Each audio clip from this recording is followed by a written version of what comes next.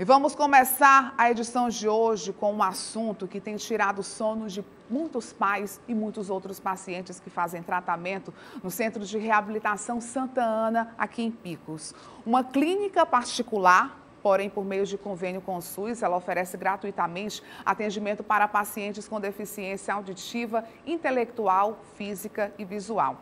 Mas com a justificativa de que o centro não atingiu a meta de produtividade, o Ministério da Saúde oficializou a suspensão dos recursos, o que tem gerado muita preocupação para quem precisa de um acompanhamento especializado.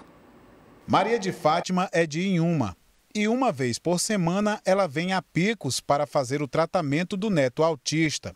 O risco de não poder contar mais com o atendimento gratuito do centro de reabilitação a deixa preocupada. Peço a Deus que não suspenda, porque não sou eu que preciso. Lá tem um monte que faz tratamento aqui. Todos precisam. Para mim e para os outros que vêm da mesma cidade. Nós não vem em, em carro bom, mas nós sempre para a saúde dele. A mesma preocupação é compartilhada por essas outras mães, que estão sem saber o que fazer se os atendimentos forem suspensos. Isso muito me preocupa, porque como é que vai ser se o meu filho não puder fazer esse tratamento, que se particular é tão caro, a gente não vai ter a condição de manter esse tratamento. Eu fui pega de surpresa pela dona quando relatou o que estava acontecendo. Isso é muito preocupante, porque esse tratamento é muito importante para eles, para as crianças com autismo. E eu não tenho condições assim de pagar, o tratamento é muito caro e se essa clínica fechar, vai ser uma perda grande, vai ser um, muito ruim para essas crianças. Desde 2016, o centro atende pacientes de 72 municípios. O Centro Especializado em Reabilitação Santa Ana atende pacientes de três territórios da região de Picos: Vale do Guaribas, Vale do Sambito e Vale do Canidé. Atualmente, a clínica possui mais de 1.200 pacientes que são atendidos nessas especialidades: auditiva, física, visual e intelectual. O centro é mantido com recursos do Ministério da Saúde, repassados à Prefeitura de Picos. Em uma nota publicada nas redes sociais, a Secretaria Municipal de Saúde traz detalhes sobre a suspensão dos valores que mantém o funcionamento do local. Segundo o documento, houve descumprimento das metas de produtividade e quantitativo mínimo de usuários. E nós temos aproximadamente mais de mil pacientes cadastrados nesse momento em, tratamento, mais de 940.